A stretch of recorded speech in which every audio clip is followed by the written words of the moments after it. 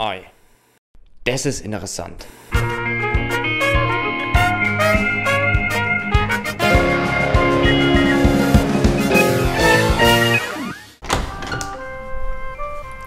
Hallo! Wir begrüßen euch zu einer neuen Folge Goethes Glotze. Es sind nur noch ein paar Wochen bis Weihnachten und wir sind mächtig in Plätzchenstimmung. Bevor es losgeht, zeigen wir euch hier erstmal unsere Themen. Außergewöhnlich. Das Studi-Kino Pupille. Uni-Präsident verlässt Chefsessel. Zeit für ein Fazit. Jetzt neu. Unsere Reality-Soap, die Campus-WG. Wohin geht's mit den Kunstpädagogen? Fehlende Transparenz und Gerüchte. Unterhaltung und Wissenschaft. Science Slam 2014. Unilust oder Unifrust? Studis kommen zu Wort. Schwimmtalent und Medizinstudent. Ein Porträt über Jan Philipp Glania. Und am Ende erwartet euch eine Weihnachtsüberraschung. Hier ist es laut und unter Hochspannung entsteht hier Bild für Bild, aber am laufenden Band, ihr erratet es schon, ein Kinofilm. Wir sind heute im Studierendenkino Pupille zu Besuch, ein außergewöhnliches Kino. Die Pupille hat sich bis heute standhaft dem echten, wahren 35 mm Film verschrieben. Filmvorführer Marco sagt uns wieso. Es muss Filmstreifen sein. Digital ist unspannend. Also da kann ich nicht mitarbeiten. Das macht der Computer alleine. Da muss ich zwar auch wissen, wie ich den Computer zu bedienen habe, aber hier kann ich was anfassen. Ja? Hier kann ich durchgucken und das Bild angucken. Ja, das ist ein Handwerk und es ist auch eine, eine Kunst, damit umzugehen. Auf den Knopf drückt kann jeder. Ich gehe nochmal gucken. Ein Bild muss man jederzeit äh, überprüfen. Ja? Okay. Seit über 60 Jahren befindet sich die Pupille im Studierendenhaus und wird auch von Studierenden betrieben. Und wer jetzt denkt, ein Filmvorführer hat's auch nicht so schwer, der sitzt nur neben dem Projektor und guckt den Film, weit gefehlt. Denn ein Film auf Filmstreifen besteht aus mehreren Spulen. Ist die eine Spule leer, muss die nächste her. Damit niemand den Wechsel merkt, ist Marco am Drücker und muss zum richtigen Zeitpunkt den Projektor anwerfen und den Strahler einschalten.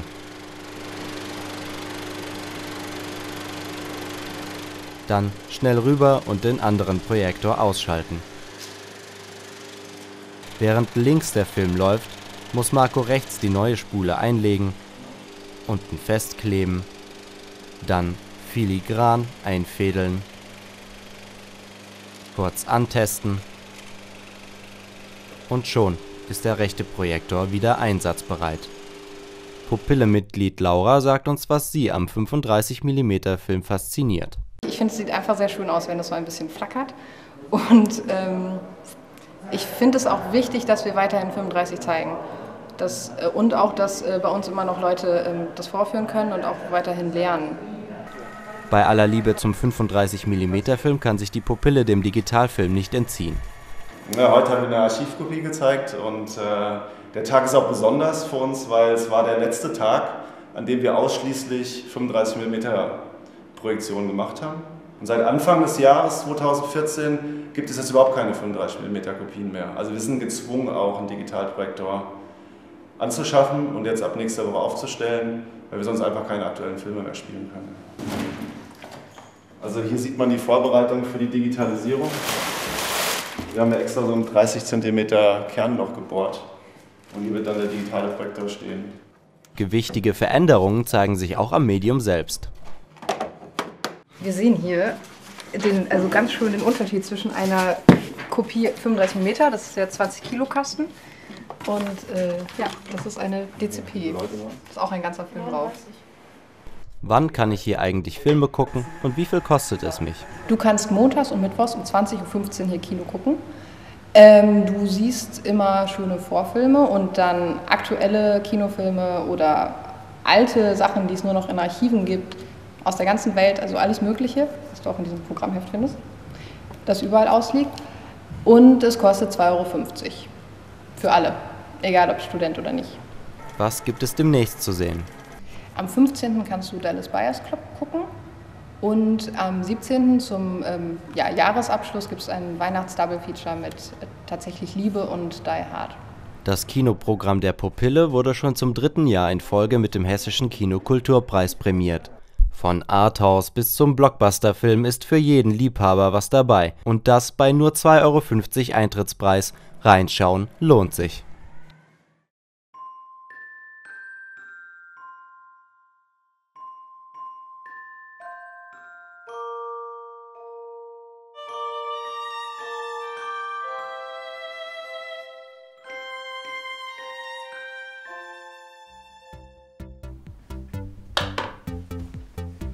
Nach sechs Jahren scheidet unser Unipräsident Werner Müller-Estel nun aus seinem Amt. Ob er nun in die Karibik fliegt oder welches Resümee aus sechs Jahren zieht, das seht ihr jetzt. 3, 2, 1.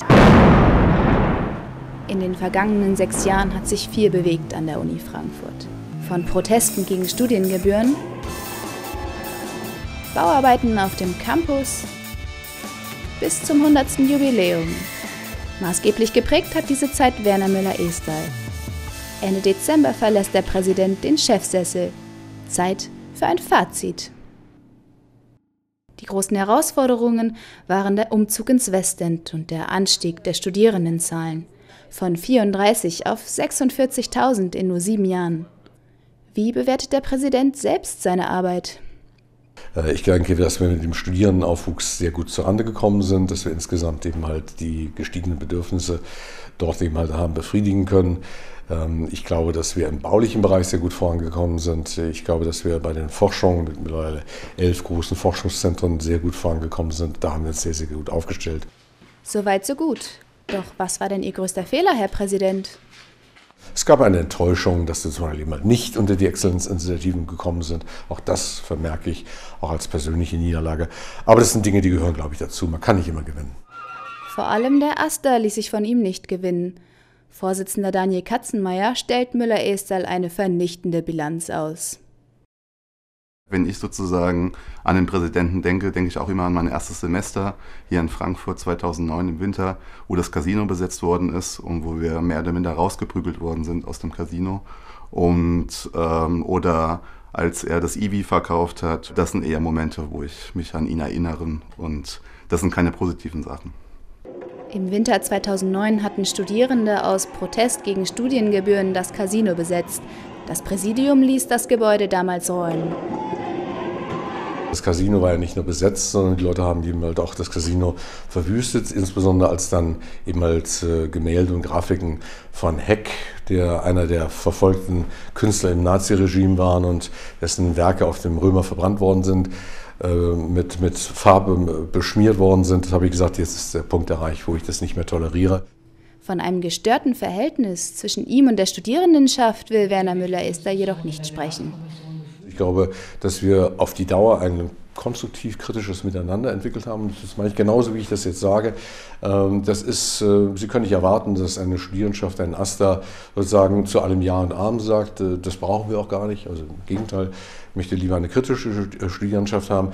Eine weitere Herausforderung, die Finanzierung der Uni. Werner Müller-Esterl konnte die Drittmittelquote auf 30 Prozent erhöhen, auch dank privater Stifter und Spender, wie zum Beispiel Johanna Quandt. Seine Vision von einem Harvard am Main liegt jedoch noch in weiter Ferne. Äh, Harvard hat die, sage ich mal, Besonderheit, dass es eben halt sich selber finanzieren kann, dass es nicht mehr auf staatliche Zuwendung angewiesen ist. Davon sind wir noch sehr, sehr weit entfernt. Wir haben also einen Stiftungsstock von, wenn man alles zusammenrechnet und großzügig rechnet, 165 Millionen Euro.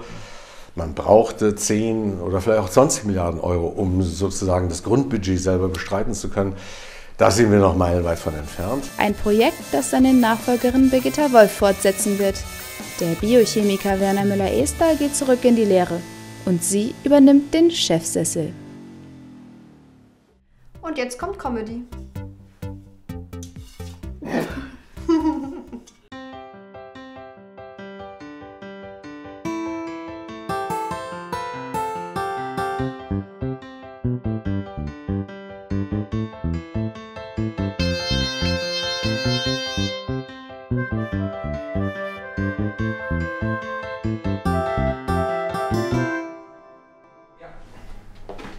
Ja, mach den Vertrag. Genau, Jean-Pascal. Okay. Ja, mach's gut. Bis dann. Ciao. Wie sieht's hier wieder aus? Alles wie immer. Bockenheim macht immer Müll. Und am Ende wirft es ein schlechtes Bild auf mich. Also auf die WG auch natürlich. Aber mich hauptsächlich. Was ist eigentlich aus deinem Auszug geworden, Bockenheim? Also erstmal wohne ich schon viel länger hier als du. Und zweitens habe ich in einer basisdemokratischen Abstimmung mit mir selbst beschlossen, noch ein bisschen hier wohnen zu bleiben. Das funktioniert nicht. Dieser Scheiß-Toaster. Der kotzt mich an. Hey! Nichts funktioniert hier. Hey, hey, hey, beleidige nicht meinen guten alten Toaster. Ja, dieses Maschinchen ist noch aus einer Zeit, da hatte Toasten noch eine Message. Äh, ja. Das versteht ihr Gut. sowieso nicht. War ja klar, dass diese Jungspunde keine Ahnung davon haben, wie das früher einmal war, ja. Alte Dinge haben nun mal ihren Wert und den verteidige ich auch. Also heißt das jetzt, wir brauchen einen neuen? Ich habe letztens in einer Zeitschrift für Toastfachleute gelesen, wie man sowas also reparieren kann. Und ich glaube, das versuche ich einfach mal. Gut, wir brauchen einen neuen. Die einzige Frage ist nur, wie finanzieren wir das Ganze? Ja, also du hast doch von deiner Tante so eine großzügige Spende bekommen. Und das Geld soll ich jetzt einsetzen, um den Toaster zu reparieren. Was denn mit dir? Warum zahlst du da nichts dafür? Gar keinen neuen, ja. Das gute Stück ist super. Ja, vielleicht wollen aber die anderen einen neuen haben. Äh, ich glaube, äh, das recherchiere ich noch mal kurz.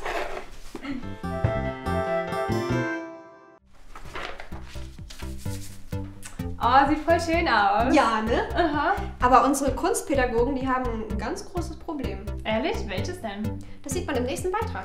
Okay.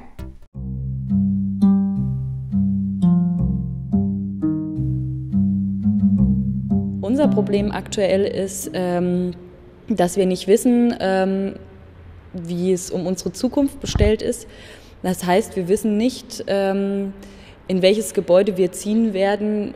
Vielleicht kann man davon sprechen, dass wir einer Sache sehr sicher sind, dass wir sehr unsicher sind, wie und was mit unserem Institut geschieht. Also das Gebäude hier ist aktuell schon verkauft. Der aktuelle Stand scheint zu sein, dass wir bis 2019 in diesem Gebäude bleiben können. Wohin danach mit der Kunstpädagogik? Wir wurden gedanklich schon öfter umgezogen, eigentlich das erste Mal zu dem Zeitpunkt, als der Campus Westend überhaupt ins Gespräch kam als neuer Standort der Universität. Das Ministerium für Wissenschaft und Bildung hat vorgeschlagen, äh, dass wir, ähm, dass das Präsidium ein, eine Fusion mit der HFG prüfen möge. Ich nehme an, dass das Präsidium eine Vorstellung hatte, die gar nicht so ausgereift war, wie sie heute vielleicht sich darstellt. Das scheint äh, eine attraktive Lösung zu sein, um Gelder zu sparen. Zur Vorgeschichte wurde uns später berichtet, dass ein Neubau der Hochschule für Gestaltung in Offenbach gekoppelt sei an die Zusage, dass das Institut für Kunstpädagogik umziehe. Dem stand von Anfang an entgegen, dass noch im Frühsommer dieses Jahres uns vom Präsidenten versichert wurde, dass wir in den dritten Bauabschnitt integriert werden und mit äh, umziehen.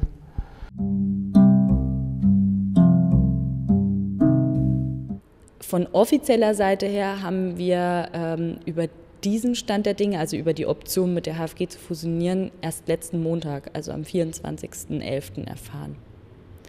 Wir haben davon als erstes von dem Aster der Hochschule für Gestaltung erfahren. Also ich weiß, dass es ähm, Vorbes Vorgespräche wahrscheinlich seit dem Dezember letzten Jahres gab. Das Präsidium ähm, hat schon ähm, Kontakt zum Ministerium gehabt und hat schon diese Option in Erwägung gezogen, aber die Studierenden ähm, und auch die Mitarbeiter hier des Instituts und Angestellten äh, wurden darüber noch nicht informiert. Ich hatte nur über äh, Freunde an der HFG erfahren, dass es Gespräche zwischen den beiden Hochschulen gibt Und da war schon eine Weile, äh, waren Vorbesprechungen äh, gelaufen, ohne dass wir davon erfahren hatten. Aber es mag so sein, dass, äh, ich schätze mal ab Spätsommer etwa, wir da in äh, Informationen ja, informiert wurden und auch eigentlich in die Gespräche eingebunden werden sollten. Dass wir natürlich ähm, hier an dieser Uni bleiben wollen, auch am Standort Frankfurt und ähm, dass wir auf gar keinen Fall ähm, an eine andere Hochschule angegliedert werden möchten. Dass Kunst und Musik als kreativer und unnötiger Ballast im Lehrplan an den Rand gedrängt werden oder von der Politik an den Rand gedrängt werden, das sollte tunlichst vermieden werden. Also als ich hier anfing, war ich äh, auch stolz, an einer Universität zu arbeiten, die sich einem offenen Dialog zwischen den Hierarchien äh, verpflichtet sah. Äh, ich schätze die linke Vergangenheit dieser Hochschule und äh, war da schon gespannt und aufmerksam zu beobachten, dass da wahrscheinlich unterdessen bestimmte Ebenen nicht mehr so aufeinander zugehen, wie das in der Vergangenheit meines Erachtens eher der Fall war.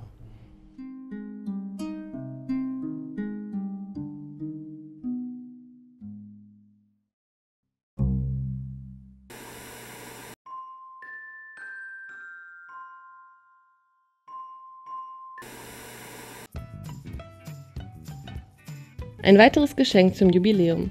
Ein Science Slam vom Physikalischen Verein Frankfurt. Die Karten waren bereits Wochen im Voraus vergriffen. Vor ausverkauftem Hörsaal traten junge Wissenschaftler der Region in kurzen Vorträgen über ihre Forschung, möglichst humorvoll und gut verständlich, gegeneinander an. Die Atmosphäre war ausgelassen. Bewertet wurde vom gut gelaunten Publikum mit Punkten und Dezibelhöhe des Applaus. Das Event war zugleich das Finale für die sechs Referenten, die sich das Jahr über in Vorentscheiden durchsetzen mussten. Von der Goethe-Uni mit dabei die Biologin Daniela Schimanski. Wenn man hier unten steht und diese ganzen Gesichter sich anschaut, denkt man schon so, uh, was war noch mal schnell ein Vortrag. Aber äh, ja, wenn es dann losgeht, dann fliegt man und es macht, es macht Spaß, war eine tolle Runde. Hat auch Spaß gemacht, die Vorträge der anderen zu hören. Also ja, runder Abend. Obwohl die Teilnahme im Vordergrund stand, musste am Ende ein Sieger gefunden werden. Der Informatiker Johannes Schildgen gewann mit einem äußerst amüsanten Vortrag über Datenbanksysteme. Kommt ein Kunde rein und sagt einmal Pommes mit ohne alles, kann diese Frau direkt ausrechnen.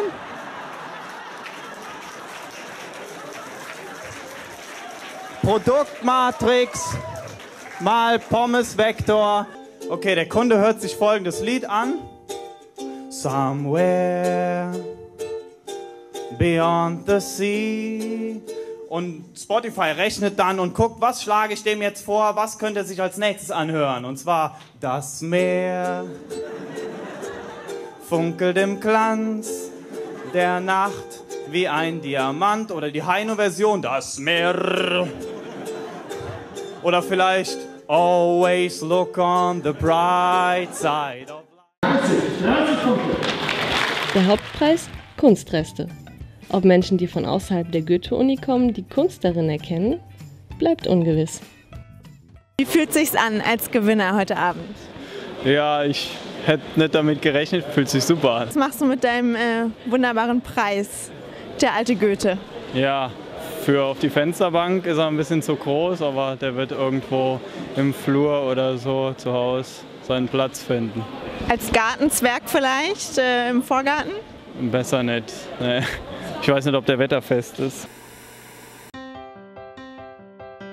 Ich denke, wir sollten das erstmal darüber abstimmen, ob wir überhaupt einen neuen Toaster brauchen. Also zum Abstimmen müssten natürlich alle da sein. Wir sind aber nicht alle da. Ja, wo, wo sind hier eigentlich Ginheim und Niederrad?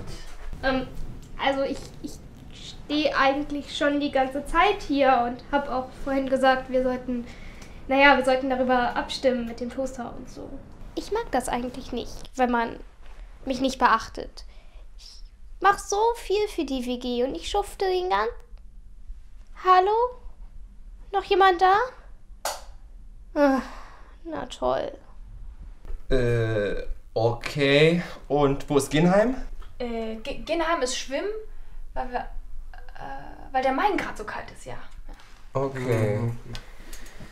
Ja gut, wenn die Mehrheit anwesend ist, würde ich sagen, können wir abstimmen. Ja? Also wer ist denn schon mal dagegen, dass wir einen neuen Toaster beschaffen? Gut, Gegenfrage. Wer ist dafür, dass wir uns einen neuen Toaster anschaffen? Riedberg? Du musst auch abstimmen. Nee, ich enthalte mich. Ich, nee, ich bin beschäftigt. Ja, also diese Zickereien zwischen Bockenheim und Westend, das stört mich schon ziemlich. Und diese geladenen Situationen, also ich, ich versuche da einfach neutral zu bleiben. Gecheckt. Neutral bleiben. Hm. Nun gut, damit ist es entschieden. Es ist unentschieden. Aber ich hab doch eigentlich auch dagegen. Ja, ja vielleicht, vielleicht machen wir einfach eine geheime Abstimmung. Das Problem ist doch, mit zwei Leuten können wir doch gar keine Abstimmung machen. Aber wisst ihr, ihr könnt nicht einfach mal. Äh, Weil das funktioniert. Er geht wieder, er geht wieder. äh, ja gut, aber das entspricht ja wohl nicht den Sicherheitsvorschriften. Und schau überhaupt mal, wie das aussieht. Das, das ist doch nix. Der funktioniert jetzt aber. Darum geht's ja auch gar nicht.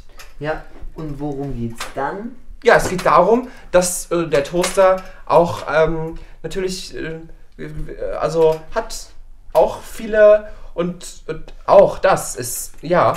Äh, äh, boah. Ich gehe Enten füttern.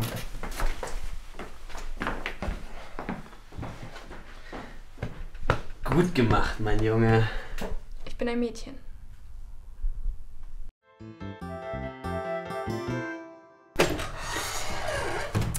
Oh, warum ist denn jetzt dieses Ding noch so kalt? Boah, nee, ey, ich habe keinen Bock mehr. Es funktioniert ja gar nichts. Oh, das frustriert mich total. Ja. Ich habe auch überhaupt keinen Bock, jetzt noch vor Weihnachten in die Uni zu gehen. Ich glaube, da bist du nicht die Einzige. Hm. Hast du Uni-Lust oder Uni-Frust? Ich habe Uni. Ja, das ist eine schwierige Frage. Ich habe Uni-Lust. Eher Unifrust. Warum? Weil die Umstellung auf den Bachelor ein bisschen ungünstig für mich war. Ich habe gerade eine Präsentation hinter mir und bin jetzt eigentlich mehr oder weniger erschöpft, äh, aber doch halbwegs glücklich. Für was werde ich gerade aufgenommen? Habt ihr Uni-Lust oder Uni-Frust? Ähm, Uni-Lust natürlich. Warum? Weil es immer cool ist, mit den Leuten hier was zu machen. Äh, Uni Lust. Warum? Weil ähm, ich gerade mit einem Kumpel getroffen habe in der Büb. Wir ein bisschen zusammen hier gesessen haben, was gemacht haben. Also eigentlich war es recht chillig. Wenn ich ans Präsidium denke, dann eher Frust. Okay, warum genauer? Weil ich die komplette Ausrichtung der Goethe-Universität in den letzten zehn Jahren einfach sehr gefährlich und äh, ja undemokratisch finde. Wenn du Uni-Präsident wärst, äh, was würdest du dann ändern?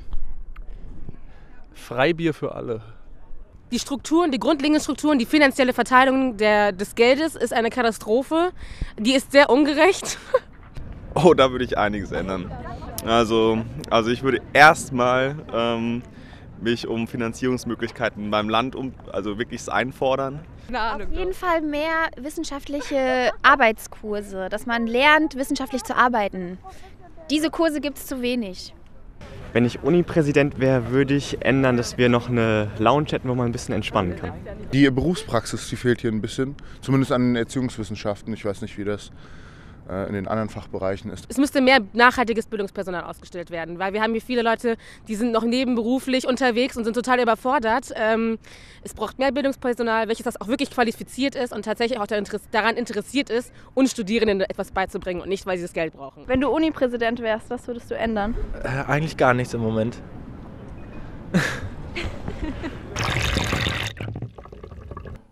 Und jetzt wird's nass. Jo, herzlich willkommen zu einer neuen Ausgabe vom Unisport. Wir stehen heute vom Uniklinikum und ihr müsstet euch wundern, denn beim besten Willen kann man hier keinen Sport treiben. Diese Ausgabe wird eine ganz besondere sein, denn wir gehen nicht zu Hobbysportlern und machen uns dort lächerlich, sondern wir treffen jemanden, der es wirklich weit gebracht hat. Jan-Philipp Lania, der deutsche Meister. Gladiator genannt von seinen Anhängern. Das ist einigermaßen im Rahmen. Glania jetzt näher dran. Glania hält den Anschluss. Glania muss jetzt irgendwann kommen. Bronzemedaille für Jan-Philipp Glania. Jan-Philipp Glania mit seinen Fans hier. Ein großes Rennen hat er heute gezeigt. Der muss das Kunststück schaffen, Zahnmedizin zu kombinieren mit diesem so zeitaufwendigen Leistungssport Schwimmen. Ja, ich bin super glücklich mit der Saison, wie die gelaufen ist. Äh, es hat alles super gepasst. Ich hatte ein tolles Jahr, ich war äh, viel unterwegs, viel Erfahrung gesammelt und dann noch die Bronzemedaille oben drauf. Es äh, war ein super Jahr. Jan Philipp gehört zu den besten deutschen Rückenspezialisten, war bei der Olympia 2012 und ist für mich einer der talentiertesten in Deutschland. Sehr fleißig. Leider hatte nicht so viel Zeit, um diesen Hochleistungssport zu betreiben. Ja, momentan äh, studiere ich von 8 bis 5 Uhr jeden Tag, fahre dann äh, direkt ins Training zum Olympiastützpunkt in Frankfurt, äh, mache dort Krafttraining anderthalb Stunden und dann noch zwei Stunden Schwimmen. Und dann komme ich abends gegen halb zehn äh, heim und probiere noch irgendwie was zu lernen, Arbeiten fertigzustellen für die Uni. Also es ist momentan wenig Freizeit. Ich bräuchte natürlich da eine große Unterstützung seitens der Uni. Zahnmedizin, das ist relativ schwierig, weil es sehr verschult ist. Äh, man muss sehr viele Stunden in der Zahnklinik verbringen, kann quasi Urlaubssemester nehmen für den Sport, äh, das ist zulässig. Das mache ich dann auch immer, um große Wettkämpfe vorzubereiten. Das ist auch die einzige Möglichkeit eigentlich, weil sonst also mit Studium ist nicht optimal, dann äh, den Sport nebenbei zu machen. Freistellung, ich habe sehr viele Anwesenheitspflichten. Weiß noch nicht genau, ich habe das noch nicht ausgereizt bisher, äh, was dann ist, wenn man das ausreizt. Ich denke mal, dann könnte man vielleicht eine Aussagung kriegen, dass man das irgendwie nachholt oder irgendwas. Es gibt eine Kooperation zwischen dem Olympiastützpunkt Frankfurt und ähm, der Uni. Ja, müsste ich dann äh, schauen, wie das läuft. Aber ich denke mir, dass ich dann das, die Möglichkeit hätte, das vielleicht nachzuholen. Tipps für Leute, die Leistungssport betreiben, jetzt äh, anfangen wollen zu studieren, nebenbei sozusagen? Gibt es Stipendien, Fördermittel? Ja, es gibt für Sportler verschiedene äh, Einrichtungen, Deutsche Sporthilfe, Hessische Sportstiftung in Hessen, ähm, die dann auch Stipendien vergeben für äh, Studenten. Ja, kommt dann darauf an, in welchem, welchen Status man hat, welchen Kader man hat in Deutschland. Äh, es ist schwierig, aber man muss natürlich, es ist schon möglich, Leistungssport zu betreiben nebenbei. Man muss halt sehr effizient arbeiten und muss sich halt auf wenig Freizeit einstellen. Vor allem muss ja eine Kommunikation stattfinden zwischen Sportler, Uni, dem Verband bzw. dem Verein, der diese Sportler äh, unterstützt. Im Schwimmen kann man nicht leben. Deshalb ist es so wichtig, dass der Jan Philipp seine Ausbildung, die er jetzt macht zum Zahnarzt, äh, beendet und gut beendet. Ich will ja nochmal ein äh, Urlaubssemester einlegen vor Olympia. Ich arbeite natürlich dran, will dann nach den Olympischen Spielen dann durchziehen im Studium. Hat die Uni deine Erfolge wahrgenommen? Ja, also äh, das spricht sich ja dann rum hier im, im, Fachbereich auf jeden Fall. Inwieweit das jetzt hier in der Uni die Runde gemacht hat, weiß ich nicht. Äh, aber bei den Zahnmedizinern wissen die schon Bescheid. Ja. Ein paar Worte zur Zukunft. Fernziel ist natürlich Rio 2016. Da will ich äh, ist mein Ziel, ins Finale zu kommen bei den Olympischen Spielen. Äh, in naher Zukunft äh, steht als erstes, nächstes die Weltmeisterschaft in Kasan an. Jan-Philipp Glania, das kann eine Hoffnung werden. Shake Hands mit Christian Diener für Rio 2016.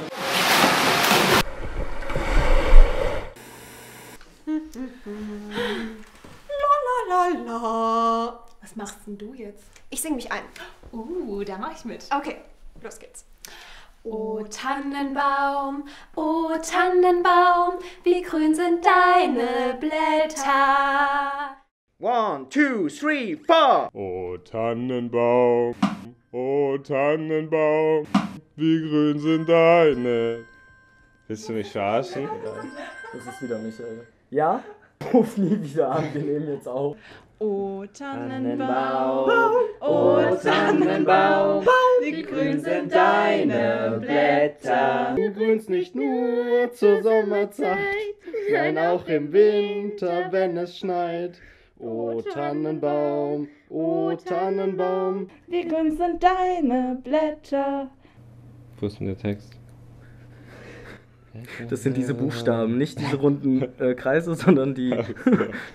ich kann nicht die Melodie, kann die mir mal jemand vorsingen kurz? Jingle bells, jingle bells, jingle all the way. Oh, what fun it is to ride in a one-horse open sleigh. Hey! We wish you a Merry Christmas, we wish you a Merry Christmas. Mach mich lauter! Mach dich leiser, es tut weh! We wish you a Merry Christmas and a Happy New Year. Good time, Was? Komm, lass mal wenigstens so ein bisschen tun, als würden wir uns mögen. Good tidings we bring to you and your kin. We wish you a Merry Christmas and a Happy New Year. Frohe Weihnachten wünscht UTV!